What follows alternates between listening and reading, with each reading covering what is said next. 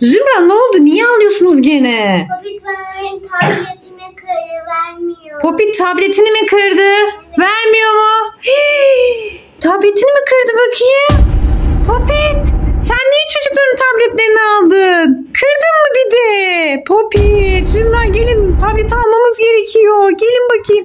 Anne bak işte ekranını. Bakayım ekranını mı kırmış? Hii, Popit sen ne yaptın? Zümra'nın tabletini kırmışsın. Ne yapacağız şimdi Zümra? Bunu nasıl tamir edeceğiz? Popit'e kızmalısın Zümra. Popit'e kızmalısın. Zümra vurun Popit'e. Sen gelip çocukların tabletini kırmışsın Popit.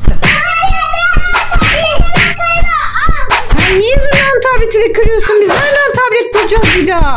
Zümra bunu ne yapalım? Gizli geçit açıp gönderelim. Bir daha tabletini elleyemesin. Hadi çağırın gizli geçiti. Gizli geçit açıl. Sen şimdi görürsün Popit. Tekme atın Popit'e. Popit. Popit gizli geçite gitti. He Zümra ama şimdi tabletini ne yapacağız Zümra? Yazık. Popit gitti ama tabletimiz kırık kaldı. Ne yapacağız Zümra? Yeni tablet mi alalım ya da bunu tamirciye götürelim değil mi? Ya Popit gelirse bir daha kırarsa? Zümra gidelim onu tamire yaptıralım. Diyelim bunu Popit kırmış üstünde tepinmiş diyelim. Olur mu? Hadi gel tamirciye gidelim al. Al hadi gidelim.